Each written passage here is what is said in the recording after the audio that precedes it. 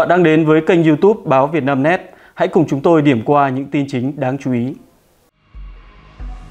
Những cơn gió giật mạnh kèm theo mưa lớn đã quét qua Hà Nội chiều qua, khiến hàng loạt cây cối bật gốc, mái tôn bị tung. Đây là những dấu hiệu báo trước sự đổ bộ của bão số 3, dự kiến sẽ gây ảnh hưởng nghiêm trọng đến khu vực trong những giờ tới. Trước lo ngại sức gió mạnh của bão Yagi, kèm theo mưa to khiến cho hầm để xe bị ngập, một số chung cư ở Hà Nội đã dùng bao cát, sử dụng bàn ghế để chặn cửa tầng hầm, có nơi dùng xe container chặn cửa ngăn gió. Sáng sớm ngày 7 tháng 9, Hà Nội bắt đầu có mưa nhẹ do ảnh hưởng trước cơn bão Yagi. Khoảng 7 giờ cùng ngày, mưa bắt đầu nặng hạt và gió mạnh lên từng đợt.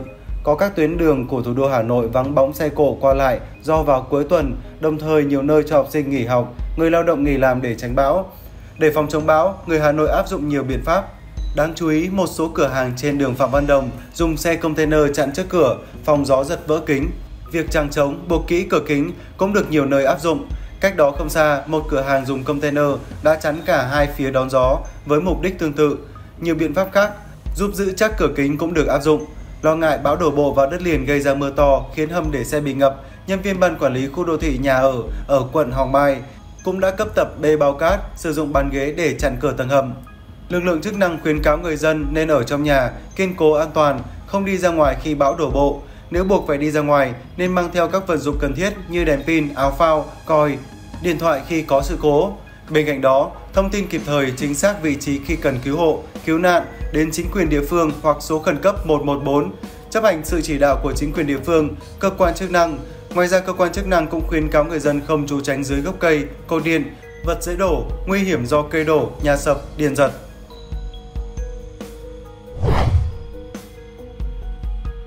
12 giờ ngày 7 tháng 9, bão số 3 tiến gần vào khu vực Hải Phòng và Quảng Ninh. Hoàn lưu bão đang ảnh hưởng trực tiếp trên đất liền nước ta, trọng tâm vào khu vực Quảng Ninh, Hải Phòng và các tỉnh lân cận. Báo Quảng Ninh thông tin, đến 13 giờ 15 phút, bão số 3 vẫn đang gây ra những đợt gió giật mạnh kèm theo mưa lớn, làm cho hệ thống điện lưới trên địa bàn huyện Vân Đồn bị mất. Nhiều cột thu phát sóng điện thoại không thể hoạt động, khiến cho nhiều khu vực không có sóng điện thoại di động, ảnh hưởng đến quá trình chỉ đạo công tác phòng chống bão của địa phương. Cùng với đó, nhiều bè nuôi trồng thủy sản của người dân, dây nuôi hào bị sóng gió đánh trôi, hệ thống cây xanh trên các trục đường chính tỉnh lộ 334 bị gãy đổ, nhiều mái tôn của nhà dân, biển quảng cáo, biển chỉ dẫn giao thông bị gãy đổ. Ủy ban nhân dân huyện Vân Đồn đang tìm giải pháp giữ liên lạc với các địa phương để nắm bắt về tình hình thiệt hại và chỉ đạo biện pháp phòng chống, tuyệt đối không để thiệt hại về người và hạn chế đến mức thấp nhất thiệt hại về tài sản. Báo Hải Phòng thông tin, theo dự kiến chiều ngày 7 tháng 9 năm 2024, cơn bão số 3 sẽ ảnh hưởng đến Hải Phòng, Trước đó lúc 5 giờ, bão đã ảnh hưởng đến huyện đảo Bạch Long Vĩ. Tuy nhiên, từ sáng ngày 7 tháng 9 đến 10 giờ, khu vực Hải Phòng đã ghi nhận gió to kèm theo mưa. Trên các tuyến giao thông trọng điểm, nhất là một số cây cầu, lực lượng chức năng thực hiện cấm cầu để đảm bảo an toàn cho người dân. Theo thông tin trên báo Quảng Ninh, đến thời điểm 12 giờ 30 ngày 7 tháng 9, trên địa bàn thị xã Quảng Yên hiện có mưa to, gió 86 km/h, tương đương cấp 8, cấp 9. Các lực lượng đang bổ sung bao cát để phòng nước chiều dâng. Từ 11 giờ ngày 7 tháng 9 trên địa bàn huyện Hải Hà, bão số 3 với sức gió cấp 12 và mưa to đã làm tốc mái tôn trên khoảng 40 nhà dân, trụ sở cơ quan, trường học. Hiện nay các xã, thị trấn đang bị mất điện, 10 điểm dây điện bị cây đè vào, làm đứt dây điện trên địa bàn huyện.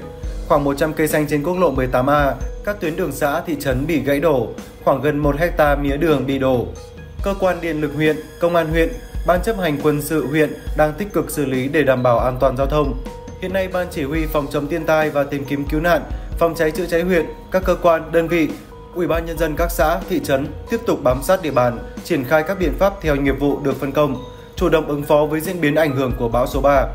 Tại Uông Bí, hiện gió giật cấp 8, cấp 9 làm một cây cột điện gãy đổ tại phường Thanh Sơn, 82 cây xanh đô thị bị gãy, bật gốc, hai công trình phụ bị tốc mái, hiện tại không có thiệt hại về người. Hiện các lực lượng chức năng tiếp tục triển khai các biện pháp phòng chống bão, Ban chỉ huy phòng chống thiên tai và tìm kiếm cứu nạn thành phố Uông Bí chỉ đạo các đơn vị, ủy ban nhân dân các xã, phường tiếp tục theo dõi diễn biến, đường di chuyển của bão, chủ động sẵn sàng các phương án, triển khai các biện pháp để ứng phó bão số 3. Công trình hồ thủy điện Yên Lập là hồ nước ngọt lớn nhất trên địa bàn tỉnh. Tính đến 12 giờ ngày 7 tháng 9, để ứng phó với mưa bão, công ty thủy lợi Yên Lập đang phải xả tràn qua ba cửa với lưu lượng 160 m trên giây để giảm lực nước hồ từ 119 triệu mét khối xuống 110 triệu mét khối, đảm bảo an toàn công trình hồ đập. Đồng thời bố trí 100% quân số ứng trực bão số 3, đảm bảo an toàn về người và tài sản. Ban chỉ huy phòng chống thiên tai và tìm kiếm cứu nạn thị xã Quảng Yên yêu cầu khẩn trương lên phương án bố trí địa điểm di rời các hộ dân khu vực hạ lưu, hồ Yên Lập, ưu tiên người già và trẻ em.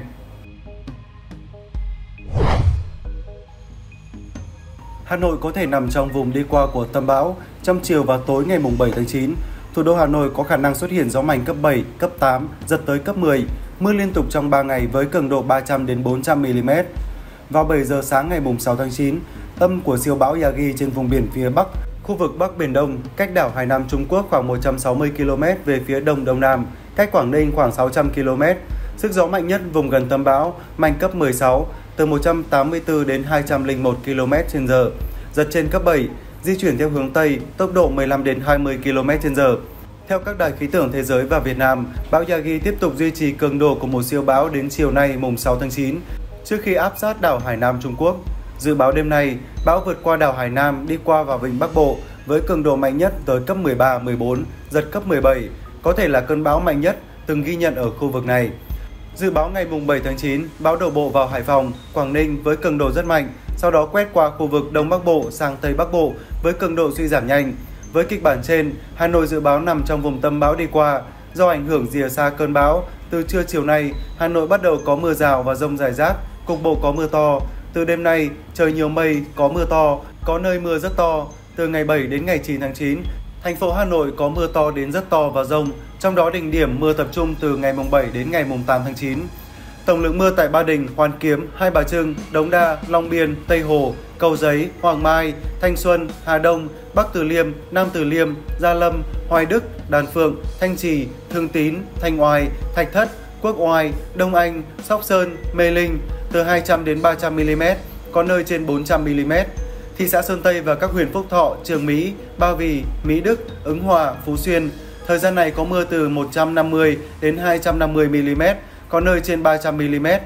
Cũng do ảnh hưởng của bão, từ sáng sớm mai ngày 7 tháng 9, Hà Nội có mưa gió mạnh dần lên cấp 5, cấp 6, giật cấp 8. Từ chiều nay, các quận Ba Đình, Hoàn Kiếm, Hai Bà Trưng, Đống Đa, Long Biên, Tây Hồ, Cầu Giấy, Hoàng Mai, Thanh Xuân, Hà Đông, Bắc Từ Liêm, Nam Từ Liêm, Gia Lâm, Hoài Đức, Đan Phượng, Thanh Trì, Thường Tín, Thanh Oai, Mỹ Đức, Ứng Hòa, Phú Xuyên, Trương Mỹ, Đông Anh, Sóc Sơn, Mê Linh. Có gió mạnh cấp 5, cấp 6, tăng lên cấp 7, cấp 8, giật cấp 10. Từ chiều tối ngày 7 tháng 9, thị xã Sơn Tây và các huyện Ba Vì, Thạch Thất, Quốc Oai, Phúc Thọ có gió giật mạnh cấp 4, cấp 5, sau tăng lên cấp 6, cấp 7, giật cấp 9. Cơ quan khí tượng cảnh báo, cường độ gió mạnh như thế có thể gây ra tốc mái, hư hại nhà cửa, làm gãy đổ cây cối, cột điện, ảnh hưởng đến sản xuất nông nghiệp và cơ sở hạ tầng. Do ảnh hưởng của mưa lớn kéo dài trên các sông Cà Lồ, sông Bùi, sông Tích có khả năng xảy ra một đợt lũ, làm tăng nguy cơ ngập lụt các vùng trũng thấp, các bãi nối giữa các sông. Riêng khu vực thoát lũ của huyện Trương Mỹ có thể tái diễn tình trạng ngập sâu kéo dài. Các chuyên gia cũng nhận định nếu kịch bản bão đi dịch xuống phía Nam, đổ bộ vào Thái Bình, Nam Định thì Hà Nội còn có thể đón mưa lớn hơn, gió giật mạnh hơn. Trong tối mùng 5 tháng 9, Hà Nội và một số địa phương phía Bắc đã bắt đầu xuất hiện dòng lốc trước bão. Riêng tại Văn Lý, Nam Định ghi nhận gió mạnh cấp 9, giật cấp 10 trong cơn rông lúc 22 giờ 20 phút tối qua.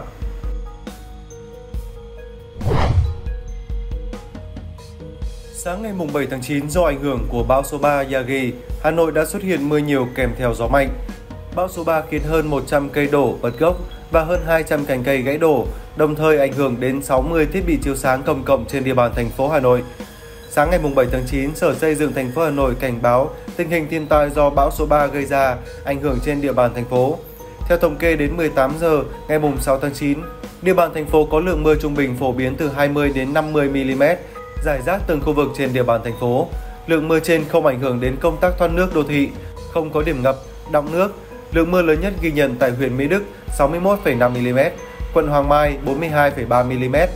Các đơn vị duy trì thoát nước tiếp tục ứng trực, cập nhật, theo dõi chặt chẽ diễn biến thời tiết, thực hiện tour vớt rác tại miệng thu hố ga, các cửa xả không để ảnh hưởng đến công tác tiêu thoát nước trên toàn địa bàn quản lý. Về cây xanh đô thị, tính đến 22 giờ ngày 6 tháng 9, bão số 3 đã là 101 cây đổ bật gốc, đường kính từ 18 đến 35 cm. Cá biệt có một cây xanh đường kính 200 cm. Thống kê có khoảng 202 cành cây gãy đổ, đường kính 8 đến 15 cm. Trong đó đặc biệt nghiêm trọng có một cây đổ gây chết người đi đường và một người bị thương trên đường Nguyễn Hữu Thọ, quận Hoàng Mai. Đơn vị duy trì cây xanh đã có mặt tại vị trí cây đổ, cành cây gãy thực hiện giải tỏa, thu dọn hiện trường, đảm bảo giao thông. Cây gãy đổ sẽ được thực hiện trồng thay thế ngay khi thời tiết thuận lợi. Đối với hệ thống chiếu sáng, bão số 3 đã gây ra 60 sự vụ gây ảnh hưởng đến hệ thống chiếu sáng công cộng như chạm chập, mất pha, gãy cột thép, hư hỏng đèn. Sở Xây dựng đề nghị các đơn vị duy trì hệ thống hạ tầng kỹ thuật, cây xanh chiếu sáng, cấp thoát nước, quán triệt thực hiện nghiêm công tác ứng phó bão số 3, điều động nhân lực, thiết bị phù hợp với tình huống thiên tai, giải quyết kịp thời các điểm ống ngập, các vị trí sự cố, cây xanh chiếu sáng, phối hợp lực lượng chức năng hướng dẫn, phân luồng, đảm bảo an toàn giao thông do thiên tai bão số 3 gây ảnh hưởng trên địa bàn thành phố. Một số khu vực tại Hà Nội đã xuất hiện mưa vừa, nút giao thông Mai Dịch, Phạm Văn Đồng vắng vẻ là thường. Giờ cao điểm trước khi bão số 3 chính thức đổ bộ, quận Hoàng Mai đã xuất hiện mưa kèm theo gió thổi mạnh. Trung cư trên phố Láng Hạ, quận Đống Đa chen cửa kính bằng các bao tải cát để tránh ảnh hưởng bão. Nhiều cửa hàng đã đóng cửa trước thông tin bão số 3 sẽ ảnh hưởng trực tiếp đến thủ đô Hà Nội.